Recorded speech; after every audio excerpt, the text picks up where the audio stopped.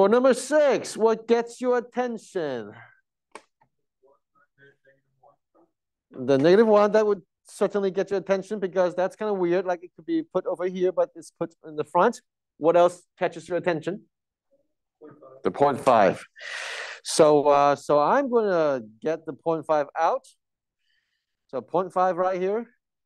And then I want to factor out the uh, 0.5. So inside the parentheses, it will be x plus how many? Now, before you give me the answer, I just want to remind you that this number times this number would get you 1. So what number times 0.5 would get you 1? 2. Okay, that's factoring. And then I would uh, also keep the minus 1 at the end. Okay, so we have one, two, three, four, four numbers. What would the transformations be? Down one at the end, yes. Left two, definitely.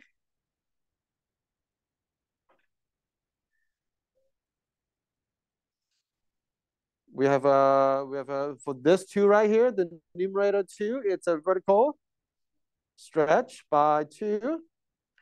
And then this one half right here is a horizontal stretch by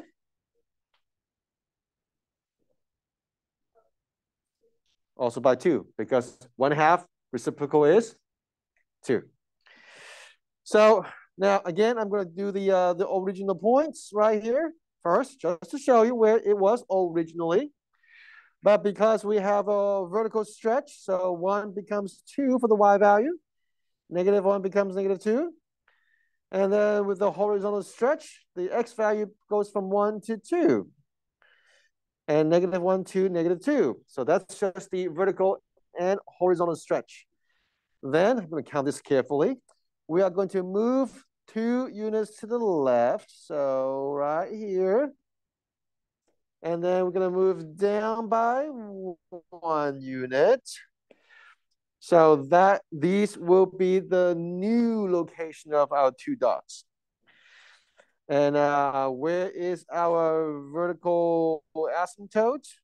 Well, if I look at this, if I look at this, I know x cannot equal to negative 2. And since we are also shifting to the left two units, so we have a consensus right here that the vertical asymptote should be at negative 2 for x. And then uh, the horizontal asymptote is shifted down by one unit. So uh, y is equal to uh, negative 1 for the uh, horizontal asymptote.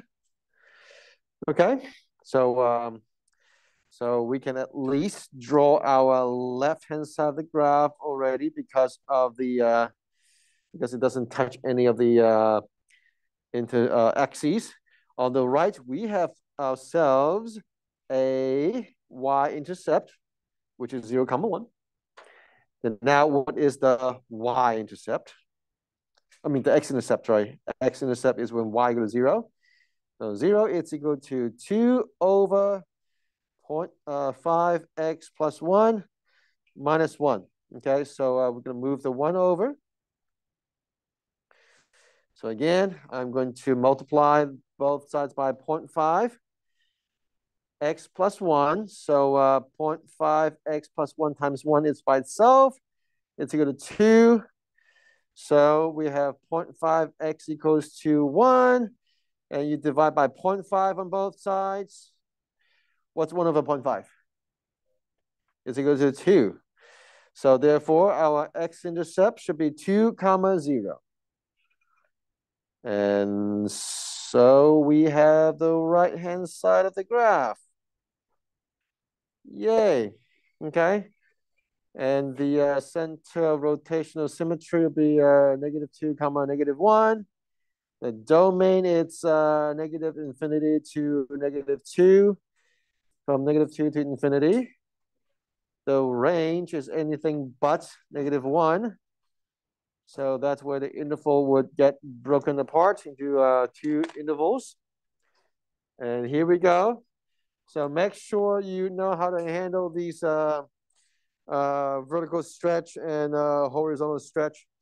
And be very careful with the b value, as always. not just now, but uh, but uh, all the time for this kind of graph, for any kind of graphs.